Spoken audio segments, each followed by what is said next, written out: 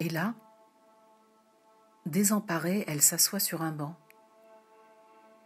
Et elle fait ses comptes, et elle ne se voit pas blanche, pourrie par les souvenirs, et fauchée comme les blés. Une seule pièce lui reste, une chambre à coucher. Et comme elle va la jouer à pile ou face avec le vain espoir de gagner un peu de temps, un grand orage éclate dans la glace à trois faces.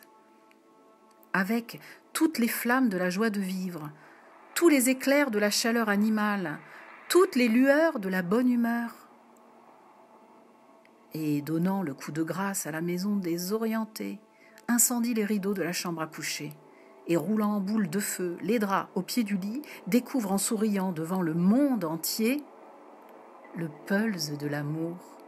avec tous ses morceaux, ses morceaux choisis, choisis par Picasso. Un amant, sa maîtresse, et ses jambes à son cou, et les yeux sur les fesses, les mains un peu partout, les pieds levés au ciel, et les seins sens dessus-dessous, les deux corps enlacés, échangés, caressés, l'amour décapité, délivré et ravi, la tête abandonnée, roulant sur le tapis, les idées délaissées, oubliées, égarées, mises hors d'état de nuire par la joie et le plaisir, les idées en colère, bafouées par l'amour en couleur, et les idées terrées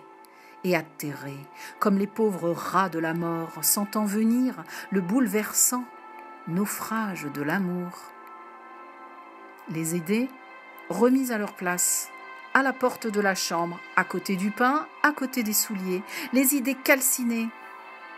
escamotées, volatilisées, désidéalisées, les idées pétrifiées devant la merveilleuse indifférence d'un monde passionné, d'un monde retrouvé, d'un monde indiscutable et inexpliqué, d'un monde sans savoir vivre,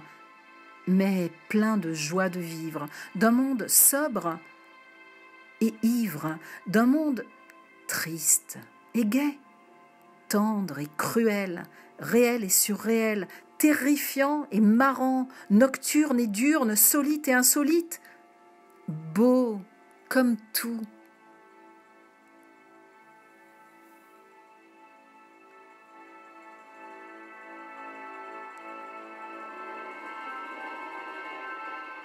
Jacques Prévert